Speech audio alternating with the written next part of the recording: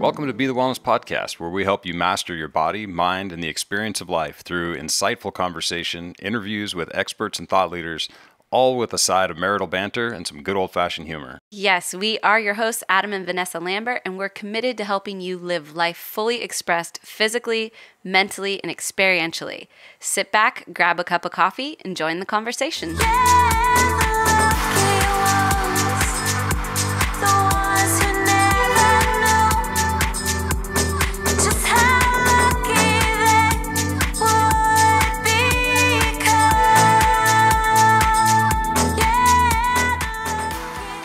welcome, everybody. Be the Wellness Podcast. Adam and Vanessa Lambert. Doing the podcast. Good. Yay! After 157 episodes, We're figured out the second line. doing the podcast thing, I think is what you normally say. Yeah, it's true. It is true. Um, but we are doing the podcast thing, and we have an awesome guest today, so we're super excited to get to him. But first, we want to just remind you that if you're enjoying this podcast and mm-hmm. you're getting a lot out of it, we would love for you to leave us a five star review and Yes. subscribe to us on iTunes. Yeah. So we can continue to get awesome guests for you to listen to and to provide excellent content to you guys in the new year. Yes. In 2019, which is happening soon. Yeah, and if you're not an iTunes user, Yes. You may or may not know this, but our, our podcast pushes to pretty much everything. It's Absolutely. on Spotify, it's on YouTube, it's on iHeartRadio, it's on Stitcher. Mm-hmm. There's not a lot of excuses out there. You can also just, just listen to it on our website. Right. You know, it's everywhere. It's It's, everywhere there. that you are. right? It's true. As long as you have internet. Yes, absolutely. And um, a quick mention for programs that are coming up in the new year. Mm-hmm. Obviously, we've got um, this will come out on Sunday, which Yes. will be the 30th. Yes. So our programs for the new year kind of officially kick off on the 7th. Correct. So we figure folks are still recovering from New Year's Eve and kind of making their way into the new year. So um, we've got a bunch of stuff kicking off on the 7th, including Unveil Your Wellness, which is our signature holistic wellness challenge. Um, and along with that goes our 21 day guided meditation challenge. 10 minute guided meditations written by me, written and recorded by me for you, so that you can start to discover a deeper sense of well being and, you know, just connecting with that inner voice Yeah. in the new year. Get your head right. Get your head right, yes. And we've also got your our build your plate challenge, which is a great simple challenge that helps you build out your plate in the perfect proportion sizes for you. Yes. So you no longer have to guess if you're eating the right macronutrient ratios, if you're building your plate plate so to speak for the right composition for your body and weight, size, all that good stuff. We give you simple, easy ways to measure and make your plate up so that you effortlessly can lose or maintain weight depending on what you're trying to do Or gain. or gain. Mm-hmm. I always forget there's people like Adam Yeah. Lambert out there trying to gain weight. Yeah, just walking around eating everything. Um, and then we've also got our pull up challenge and our build a better booty challenge. So if you want to get in and do some glute training, you know that's one of our favorite challenges. We love it. We build strong glutes, um, hamstrings, quads, all that good stuff. And then the pull up challenge is a great complement to that to get some upper body strength and conditioning as well. 100%. Yeah, so we've got lots of stuff coming in in the new year. Pick your poison, pick your purpose, pick your passion. Wow. Poison purpose. Po- that could almost be a podcast in and of itself. right? It could be three podcasts. Yeah. Poison, purpose, passion. yeah. Absolutely. So, we just wanted to give you guys all that good stuff. So, as you're making your plans for the new year, you can hop in and um, join in with us on some of these fun and really Beneficial. beneficial. And the word I'm looking for is effective. Effective. Effective yes. programs, That's a good yes. Efficacy. yes. So, let's get on to our guest, Pete Evans. Yeah. Pete Evans is so cool. Yeah, he's cool. He's really cool. And he's so, Australian, which makes him like sound cool. Yes. yeah, but then he's also really cool. Well, Yeah. we have a soft spot for the Aussies because they're just nice, they're fun, they're funny. Like they're just our people Yeah. It sure seems like it. as a whole. Yeah. Yeah. I've never met an Aussie I didn't like. To I know, fair. me too. And I, I, I and really like, I've- haven't. And I've actually met quite a few. Yeah. Like they travel a lot, and so do we. So we come Yes. across Australians all the time. yeah. The thing may be though, and I've thought about this: is it that all of them are cool, or is it the ones that travel to the same places that, or the ones that are interested in the same things that we are interested in? Could is be. that where that connection shows up? I will say that I've never gone to Australia and tried to surf some of the more localized breaks. Right. I may have a completely different opinion if I Yeah. try to go drop in on some of the, you know, more Yeah. coveted breaks Yeah, in Australia because I've heard that It's a they are a little aggressive in that yeah. arena. yeah, totally. I was actually surfing with an Australian guy who I got on with quite well in Costa Rica, Mm-hmm. and he was telling me stories about people getting zipped up in board bags and thrown off the cliff. Yeah. Yeah. Yeah, so I think that might be where their aggression lies. However, I've had nothing but good experiences with them surfing in different parts of the world. Yeah. So, especially as a female, I don't know uh, what the deal is, but they've always been really cool with Yeah. me. So, I think the bottom line is that we can just say Australians are cool. yeah. I think I think we're good with that.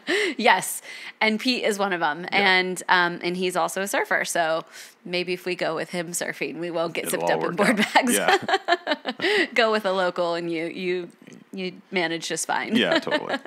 So anyway, let's talk about Pete. Pete is a chef and he began his career at the age of 19 and he's opened numerous award-winning restaurants nationally as well as cooking in some of the finest restaurants globally.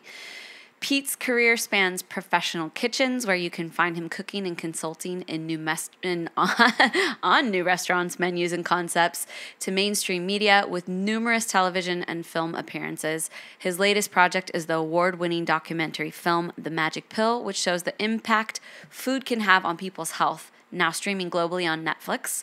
He has been co host and judge of Australia's number one television show, My Kitchen Rules, for nine seasons. Mm-hmm. That's a lot of seasons. That is. It's most of them Um, It's most, most, of them. He's hosted and produced two seasons of The Paleo Way, which is a television series which sees Pete, Pete creating delicious, non inflammatory dishes with special guests from around the globe and interviewing some of the world's leading experts on health and wellness. yeah, This guy's up to big things. he is. Yeah. And, he's doing it like in a in a very compassionate and just chill way. Exactly. Which is amazing. Yeah. Yes, because sometimes when you're up to that much, you can come off a little, you know, Like you're up to stuff. uptight. but he comes off very chill and very loving and I think that's just who he is. So we're really excited to welcome him to the show and to share this conversation. And here we go. Let's chat with Pete. And we're live. Welcome to the podcast, Pete. Hey, thank you so much for having me. How are you today? Outstanding. Yeah, we're- we're, S- we're sunny rocking day. it out. yeah, so it's really cool that we're connecting with you. We've been following your journey for a while. And actually, it's funny because I was looking through some email correspondence with you. And when I searched in my email, I noticed that you and I had corresponded way back when I was working for Mark Sisson at Primal Blueprint. And so Mhm. we've actually known each other longer than I even realized. That must be going back a few years now.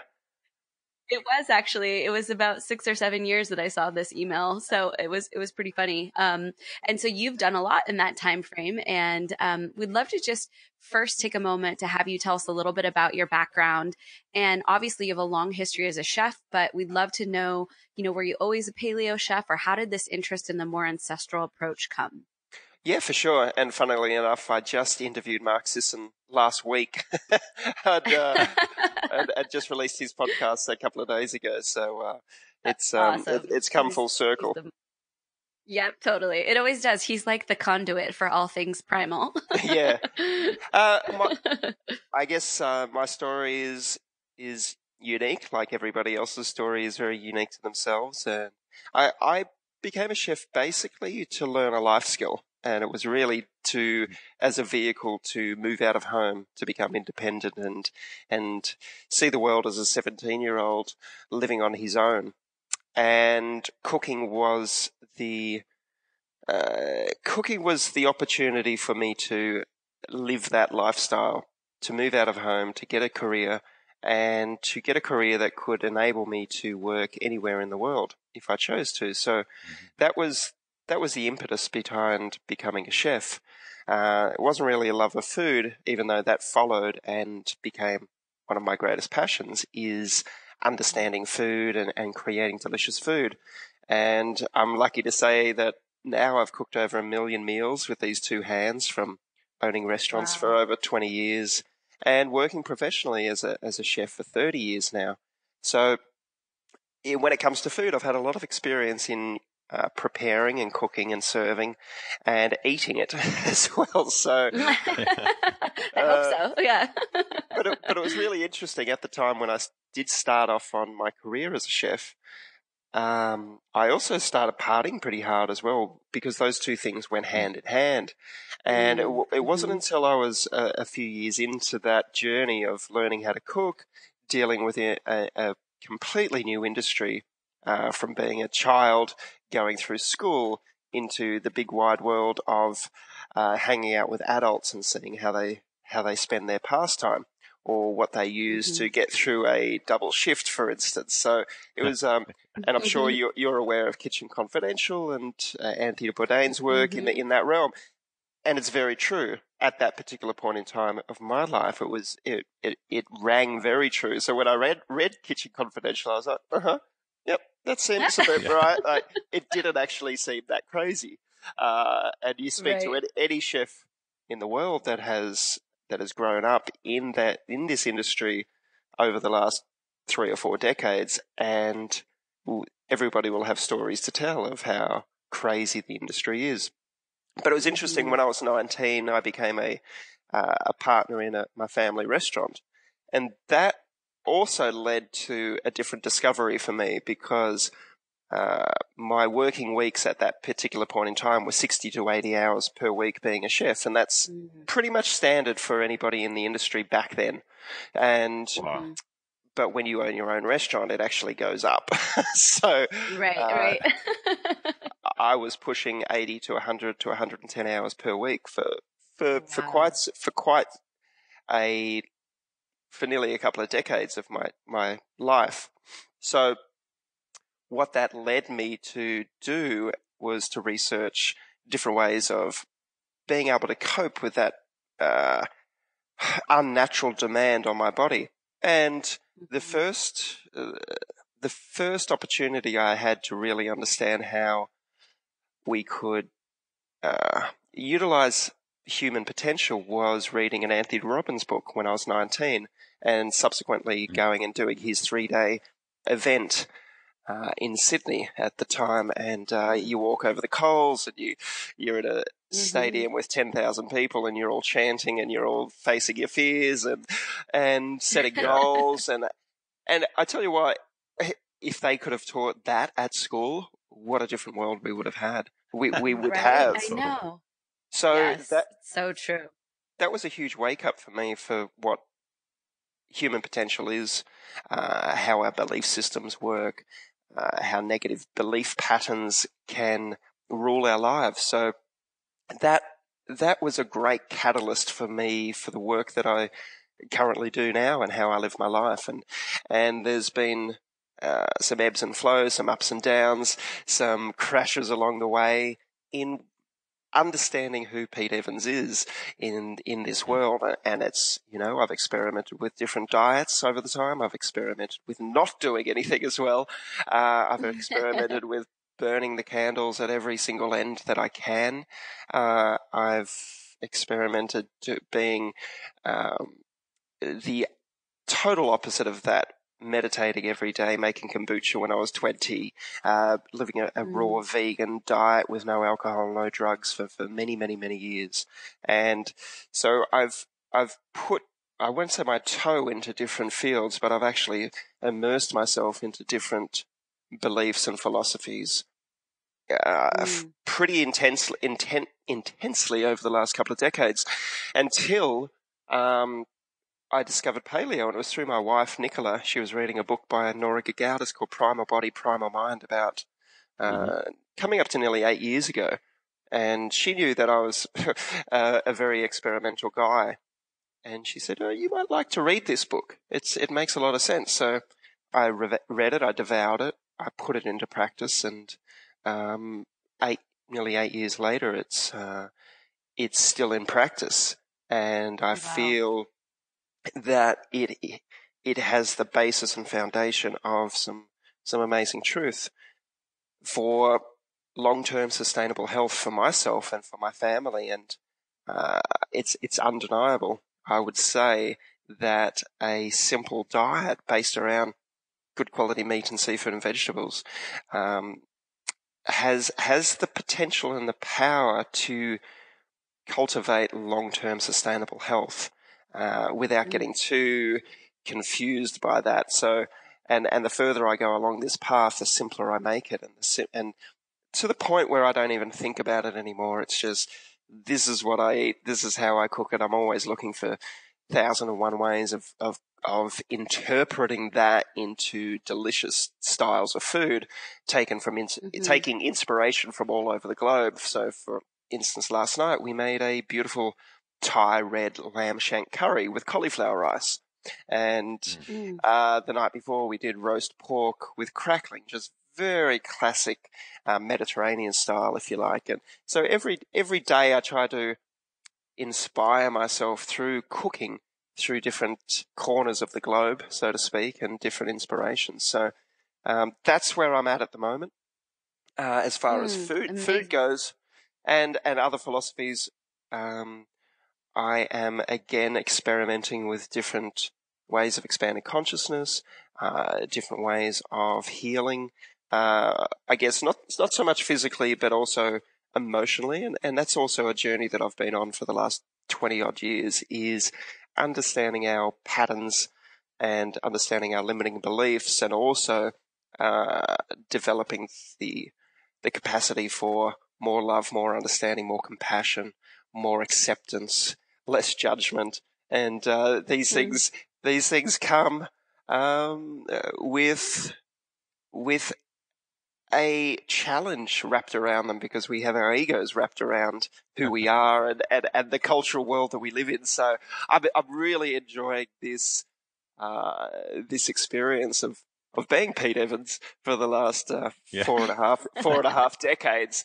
And it was funny because even yesterday I was like, fuck, I know nothing. well, that's, yeah, that's exactly it, right? The more you know, the less you know. uh, uh-huh. um, so you, so you obviously you have a passion for food and cooking, but I want to just pause here for a second because you're talking about reinventing or being creative about the the types of meals, even if they're simplistic in their ingredients, you're trying to give them, you know, a new spark or a new flavor or, you know, at least be creative with them. But what do you tell what kind of advice do you give to someone who just really doesn't like to cook? uh, my my first sorry if I laugh, but it's it's a funny one because no, it's it's good. it, it's it's nearly like saying to an it, human beings are so stubborn, and mm-hmm. we, well, we can be. I shouldn't say we are. Uh, human beings can can create so many excuses for putting off the most vital things that are important to us, and that is what I mm-hmm. find so fascinating about our species. You know, I I'm sitting here on my farm and I'm watching my horses eat. And it, I wonder if they ever have the thought, oh, I don't feel like eating today. Or, yeah. do you know what I want? And I'm watching the birds go into the trees and they're, and they're collecting their nectar or their pollen or whatever they're doing, you know, pecking for the, for the insects that are there. And again, I just wonder, is there anything going through their their mind that gives them doubt about what they're about to do, or is it instinctual? Whereas I, I, get that comment quite often saying, "I find it a chore. I find it. Um, I don't like doing it." And what are the alternatives? You know, unless you can, mm-hmm. unless you're rich enough to have somebody do it for you, which mm-hmm. majority of us cannot afford, um, you're going to have to get in there and just do it, as as the slogan mm-hmm. goes from Nike. So my advice is it's it's not about how do we create joy out of it because that's easy. You can put on some great tunes. You can uh, start to challenge yourself by by making an omelette, for instance, let's start with that, or, or the perfect scrambled eggs. Let's start with something that has one ingredient or two ingredients into it. And let's master that. You know, you can challenge yourself in ways that you can make it enjoyable and make it fun. Uh, I just watched this great TV series this week. My wife and I binge watched it called Future Man. And if you haven't seen it, I, I I, I, I beg you to watch it because there's a great, there's a great scene in it where this soldier comes back from the future and he has this wonderful realization through the series, and I don't want to give it away, but he has this realization that a human being can be capable of more than just one thing. And that was what I mm-hmm. always loved about the, the message that I got from Anthony Robbins back then. It was like, be a master, well, don't be a master of just one thing, but be, be competent in many areas, many different areas of your life. And I always thought that was such, such a, smart concept for us to take in. Because if you just become an expert in one thing, then maybe you can't experience all these other things that we can uh, intuitively and instinctively um, put our passions and, and learn to grow from. So here's this guy that comes back from the future and, and his his number one purpose, in, he thinks the purpose in life is to kill people. He's a soldier and win mm. the battle. But then he discovers cooking and, and, and I love it. So when he first starts out, he doesn't know what to do. He's smashing the eggs on, on the kitchen bench. But within one episode of the series, he's like the expert chef and he's, he has this passion for food that is so, uh, I, I just love it. So so going back to, we can create the passion around food by challenging ourselves a little bit or putting ourselves into that, that state or putting the music on or cooking, whatever it is. But it comes down to how do we change our belief system or our philosophy that it's not a chore, that it's, mm-hmm. it's not painful, that you're not a victim, that you're not good enough to do it, to create something delicious. That I think is the key. And to do that, you need to look at what, what are you passionate about in your life? What is it that makes you get up and want to live the life that you desire? And how can we translate that into the simple, and I, I will say it, it is a very simple act of being able to cook for yourself. And sure, mm-hmm. I have recipes that are elaborate in my books, but the majority of them are very simple. And you can adapt any recipe to suit your resources where you live, uh, your season, what's available, and your equipment or your cooking style or your taste. And you can, as I said, start with the basics. Cook a piece of steak and make a salad. Or you mm-hmm. can roast a pumpkin in the oven and at the same time, um, steam a piece of fish, whatever it may be. And then if you want, you can make a dressing or a sauce to go with it. Or you can potentially mm. go to mm. Whole Foods and buy a sauce like an, like a, a flavored mayonnaise or an aioli or some kraut and have that as your condiment. And you can start off so simply and then build and then build if you mm. choose to, or just keep it right. simple and then write, make a blog or share your recipes and say, I'm about to start this adventure. you know, this is my first dish oh, I've it's ever so cooked. True. And, and mm-hmm. have, have fun with it however you can. Yeah. I love that you mentioned the music because I'm a recovering I don't like to cook person. and and it has actually been a total game changer for me. It's like to set the energetic space of of the creation putting on music just kind of you know changing gears from my work brain into a more creative brain which is what cooking is you know it's like you can infuse that creativity and you can connect with that. And so i have found that music has been a like a total game changer for my state of mind around the creation.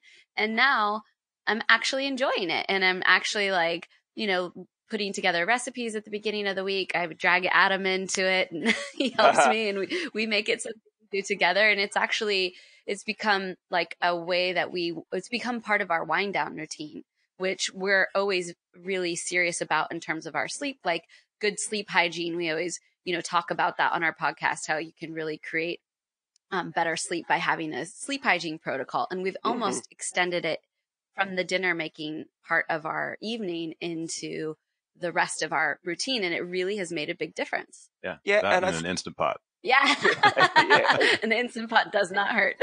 well, exactly. And those slow, I actually did a cookbook a few years ago on slow cooking and pressure cooking. And, and you know, if, the, if that's all you could do, I think that's probably the best way of cooking, especially when it comes to cooking bulk food. I mean, I talked about the lamb Mhm. curry we did yesterday, but two days prior, we put in four lamb shanks into the slow cooker and I cooked it overnight. And the next day we had all this meat. And the, day, the next day I cooked that uh, roast pork, but I cooked enough meat for two or three days. So we've always got meat in Mhm. there. And then yesterday I had some paleo bread and we made pate the day before. And I did that with my daughter. And Mhm. so we're having roast pork sandwiches on this delicious paleo bread and pate on the bread as well. And my wife made crackers. And she sometimes cooks for us, or I cook for the family, or we cook together, and and we just have a lot of fun about it. And I think going back to your original question, how can people do it? I think it comes down to having your values right and your philosophy on yourself right. And I always say to Mm. people, the first step to undertaking a change in lifestyle or a change in diet is self love. And if you can see putting that food on the fork or chopsticks or in the spoon as the ultimate form of self love and self nourishment, because ultimately there isn't. And, and again, I'll go back to the horses. They are intuitively and instinctively eating that grass because they know it nourishes them, because they know that they just know that's their diet.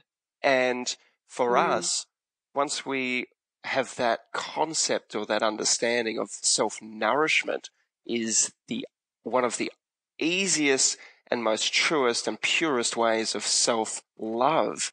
And when we're eating a diet that goes against that, that's actually self harm.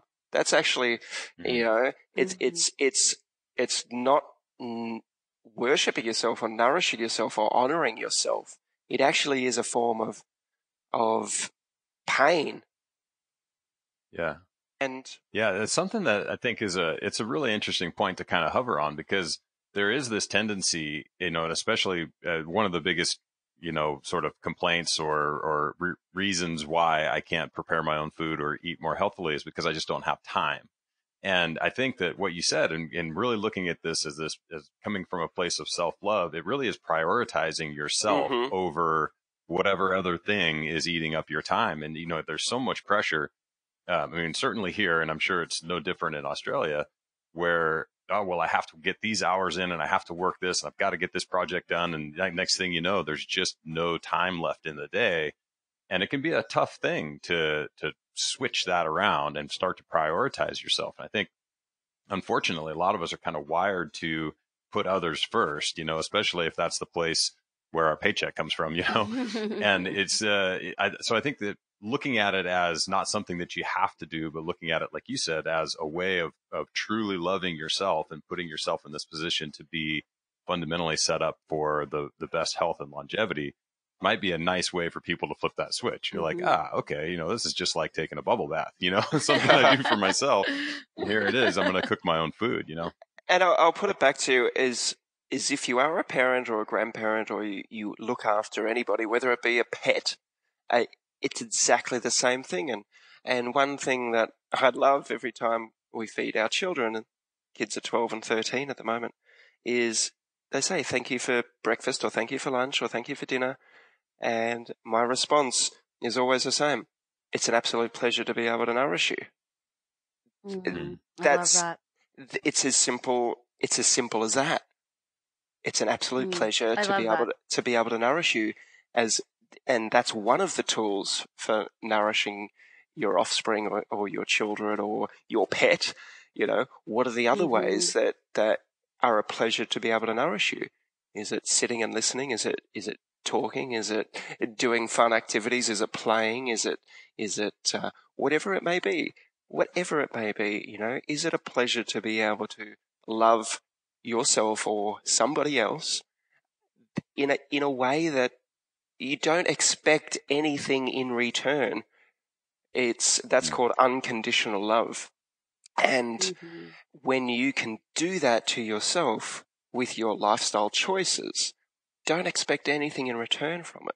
You know, it, because Mm. so many people, when they embark on this journey, so fucking frustrating is Yeah. after Mm. after four weeks, they're like, I haven't lost any kilograms or pounds, and I'm eating all this delicious food, you know, whether it be pa- pa- paleo or keto, and they want to give up because they've been on other diets where they've starved themselves and they've lost weight. I'm like, Mm-hmm. well, and my response to people is, how many decades did it take you, or how many years did it take you to put on that weight? Because I'm sure it didn't take Yeah. you four four weeks. So why why are you putting these unnatural expectations on yourself that is based around an outcome instead of just self love and self nourishment and acceptance and hey, this is this, and this is the other thing that I find really interesting. It's like, so if I do it for 10 weeks, what happens then? you know, like, well, I still need a time limit. well, this, uh. this, this is a sustainable, long-term way of life. If you choose, choose it. And, and I'll, I'll use that word choose and I'll put some emphasis on that because everything we do comes down to our choice, not anybody else's, unless you're a child and you're being cooked for and, and being dictated and uh, being guided in how you live your life. But as an adult, I could pretty much say most of us have free will to choose how we live our lives, who we spend our time with, what job we have, what food we put into our mouth, the type of beverages we consume, when we go to sleep generally, unless you're a shift worker, how much television we watch, how much time we look at a screen, what we choose to put out into the world through social media, or what we choose to uh, run away from, or retreat from, or hide from, how we choose to talk to ourselves, our inner dialogue. We have these choices. I don't know how many thousands of choices we make each and every single day. How we breathe, how we communicate, how we speak, how we move our bodies, whether we go outside and touch the earth or whether we get a little bit of sun onto our skin. You know, all of these choices come back. And that's right. The, the interesting thing is when people do change their lifestyle or their choices in their life, um, that they expect something in return straight away instead of just giving yourself that unconditional love. I'm going to love you, Mm. your, myself, unconditionally with no expectations. But to do that, we're going to make some choices that enable us to cultivate that muscle of self love. And I see food as the easiest, and I, I'll say that again, I see food as the easiest way to love ourselves because we have complete control over what we put into our mouths. Whereas some of the other thoughts that we have, some of our patterns can be a little trickier to, to shed or to understand or to be aware of for us to actually grow from out of those experience or out of those patterns. But food is a pretty simple one, I think. Mm.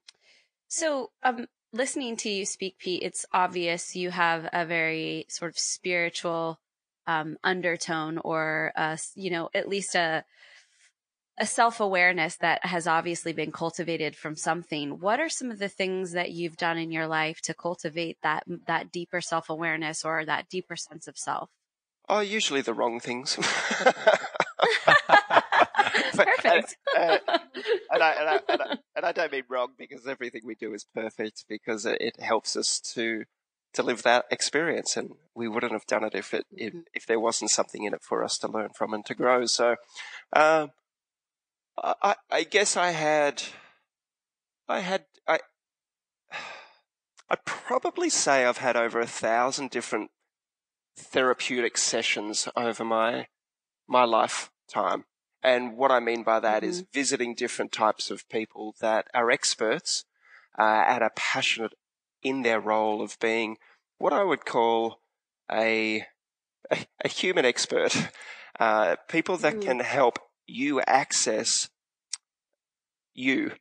And and here's the really Mm-hmm. interesting thing about that is that the further I go along this journey and this adventure I call life, the more that I've come to realize is that there are different people out there that have different skill sets and different talents.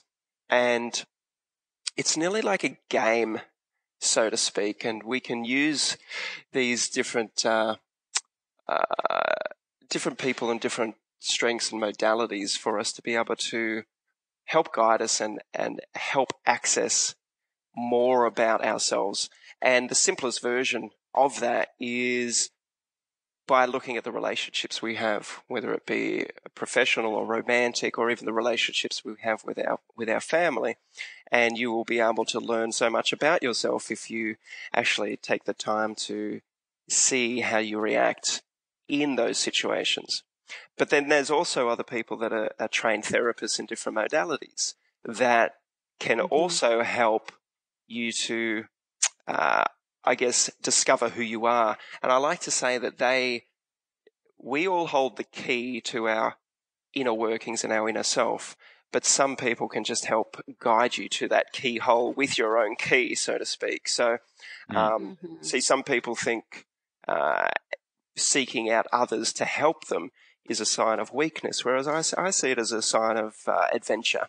And you might Mm. en- encounter Mhm. someone and you go, mm, I didn't really get too much from that person. Maybe I'll speak to someone else that uh, has been on this adventure and has had um, great results from speaking with somebody um, that does this type of work. And there's so many different modalities, and the, the you can do it by yourself through meditation and self awareness, and through uh, potential use of um, entheogens that um, I've Mhm. looked into and, and interviewed people on this. Uh, then there's other people that are trained professionals, whether they're psychiatrists, psychologists, uh, NET practitioners like neuro emotional uh, therapy or technique. Then there's emotional freedom technique, which is tapping. And then there's, uh, if you can cre- think of a, a concept out there, then somebody has probably created that. Um, so there's different ways to be able to access these, I guess, inner beliefs that we have adopted about ourselves. And then we need to find out whether they're true or whether they are from other people or whether they're culturally or s- societal uh, driven or adopted for us. So it, that in itself is a lifelong adventure to discover your true self and your true purpose. Mhm. So if you've had, you know, over a thousand sessions, obviously a plethora of different modalities, are there a couple though that that ring out in your mind where you knew that those were game changers? I mean, you mentioned Tony Robbins before, but is there others where you just say, "Oh yeah, I came into that as one person and I came out of it as somebody completely different," or rather maybe more connected with who you really are, however you want to see it. uh, well, it could be anything as well. So and I, I'm cautious here to to not point anybody down a certain path because I think it's also Mhm. everybody's individual accountability or responsibility to to explore this for themselves. And it can be as simple as finding the sport or the activity that you love. Mm. And for, I, I guess one of my greatest activities and, and pleasures is to go for a surf and or immerse Mm. myself in the ocean.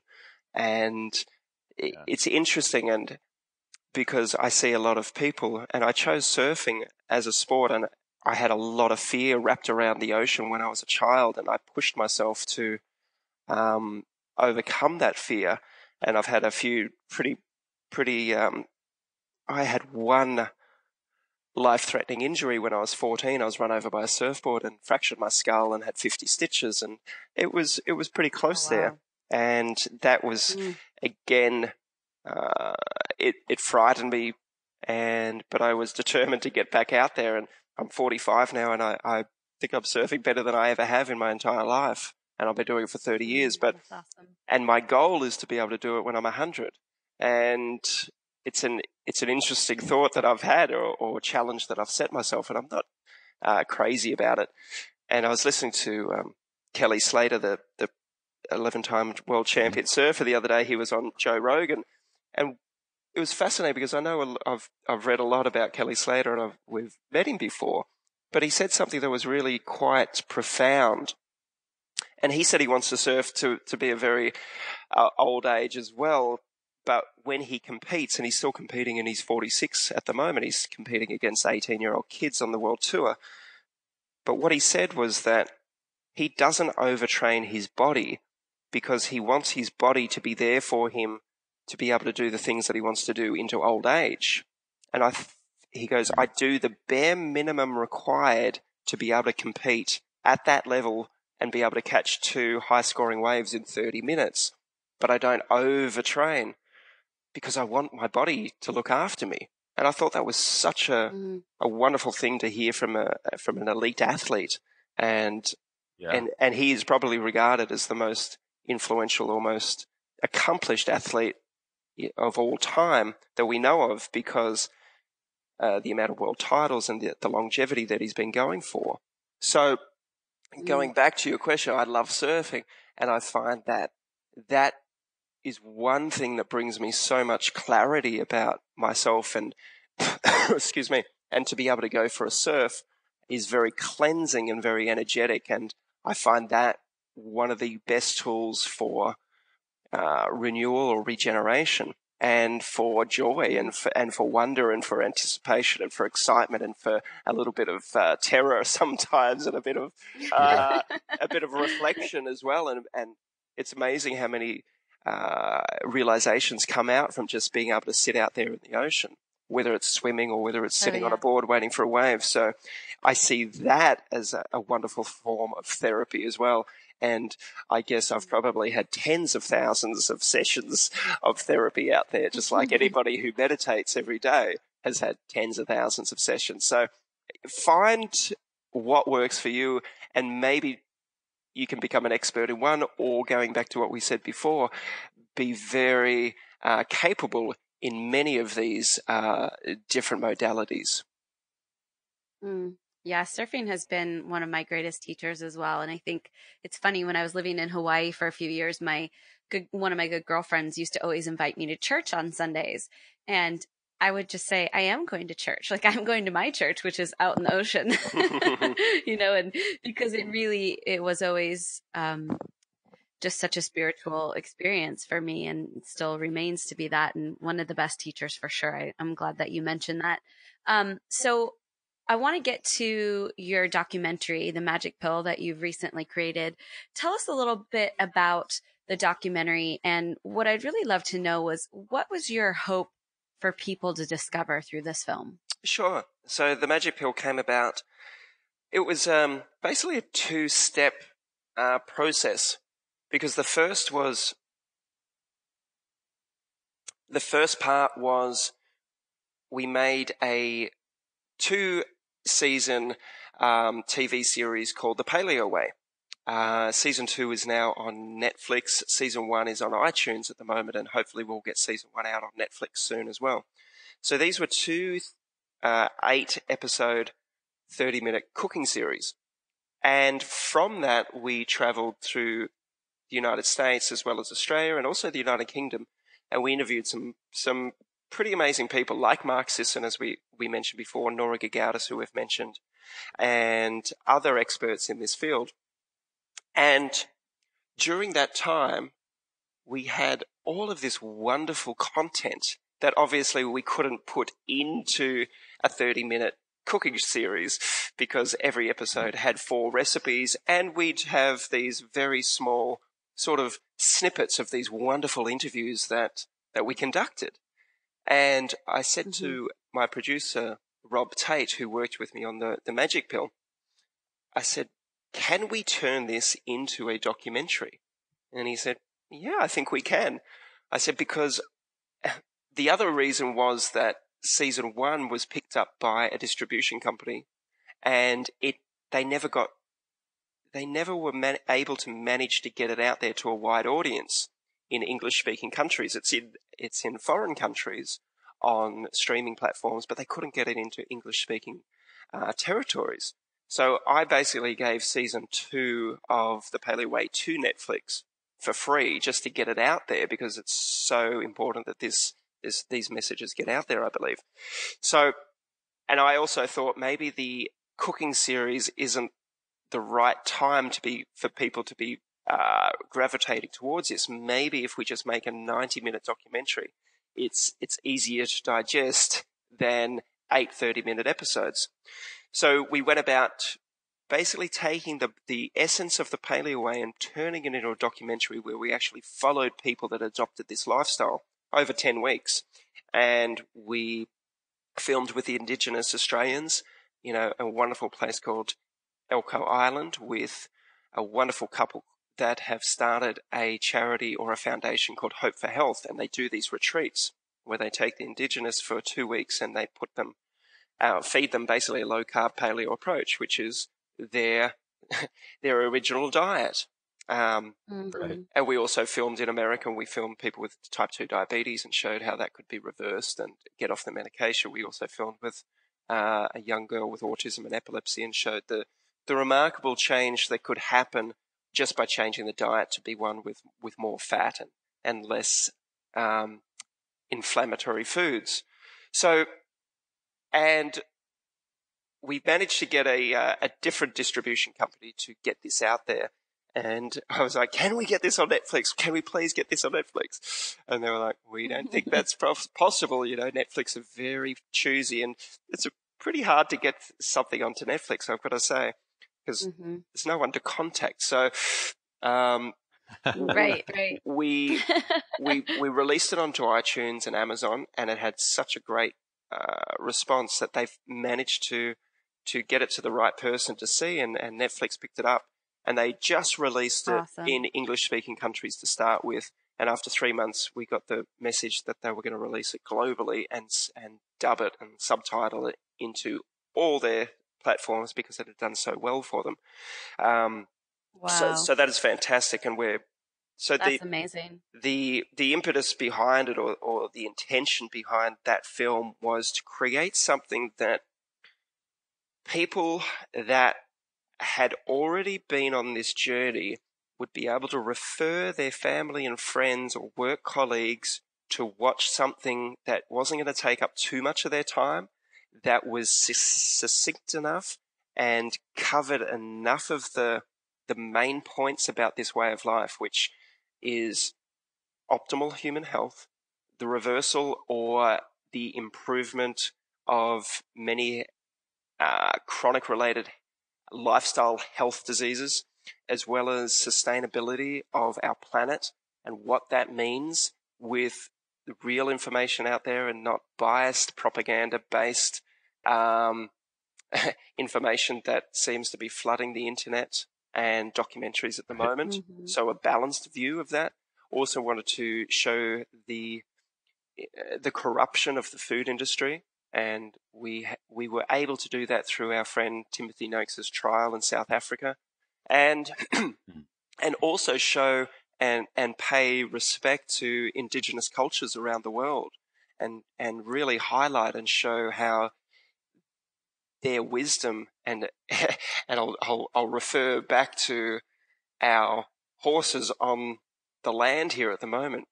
We once instinctively and intuitively knew what to eat as a species, as a human species, without being told how to do it, very much like every other species on the planet intuitively knows how to eat and why they have to eat. So that was a, a, a very strong uh, theme that I wanted to include in the film and pay respect and homage to the indigenous peoples around the world because they had it right, and we as modern folk have uh, ha- have have detoured off the path from nature, and that was what we wanted to, I guess, emphasize in the film in a respectful way as well. So I'm sure I've left something out from the from the from from the intention of the film, but that they're they're the key points that are,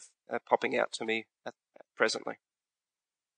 Awesome. awesome. Well, and people can go watch it and get the full meal deal. So, mm-hmm. but it was really well done, very impressive, and it was um, it, you know, obviously it's hard to create something that's non-biased, but it really did come across as really trying to come at this from a non-biased angle. So I, that really did come across for me. Yeah, and I think I mean we didn't even use the word paleo once, and we didn't attack any other uh, philosophy or belief, and it was interesting because that mm-hmm. it, uh, it, was in the first couple of cuts and or edits.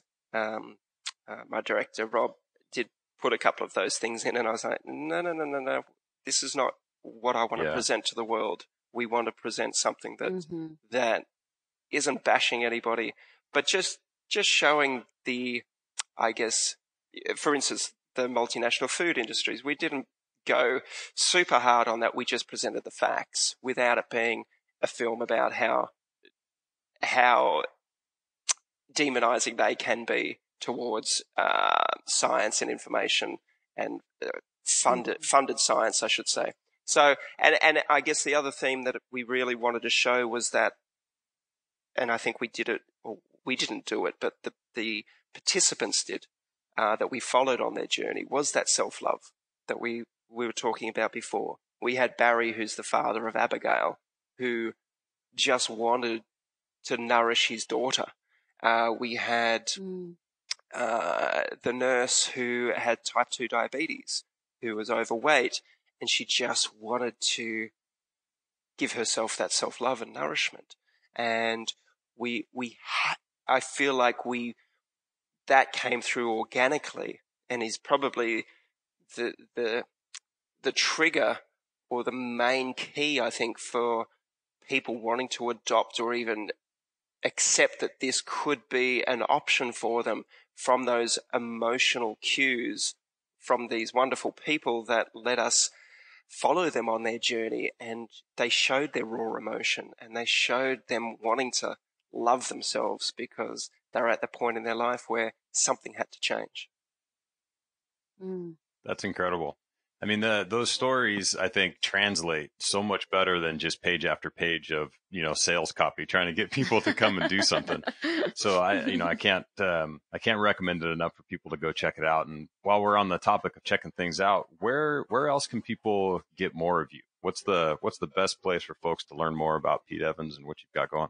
Well, we've actually got a program that goes for 10 weeks, uh, called the Paleo Way and it's free. There's no, no strings attached it's a um, it's a ten week program that has all of those interviews that we were talking about that we did with these these experts from around the world in long form, so people can go and watch an hour long interview with Mark Sisson or Nora Gedgaudas mm. or Dr. McCullough or David Perlmutter, for instance, uh, Natasha McBride, all these, uh, Dr. Sarah Ballantyne. We have all these videos and blogs in this one program and we have 350 recipes plus, and all of this information that's in there, and it's completely free. So if anyone is interested, they can go to the paleoway.com. That is um, our our gift to to the world at the moment. It's completely free. So um, discover it, and we have really simple recipes or really elaborate ones for for everybody. I, I like to have something for everybody, and uh, so check that out. Otherwise, um, social media, we're we're on Instagram and Facebook. Uh, you can see us and, and check out those uh, TV series on Netflix as well as uh, iTunes. Thanks for joining us, Pete. And for folks that are looking for him on Instagram, it's at Chef Pete Evans. And you can also, of course, find all of his details at peteevans.com. And for folks that are looking for something to do in the new year, remember go to bethewellness.com. You can check out all of our programs that are kicking out off on January 7th, including our full Unveil Your Wellness meditation challenge, build a better booty program, pull up challenge, and build your plate challenge. So lots of awesome stuff kicking off in Be the Wellness. Pick your passion, get in there, and we'll see you next week. Yes. Bye. Bye.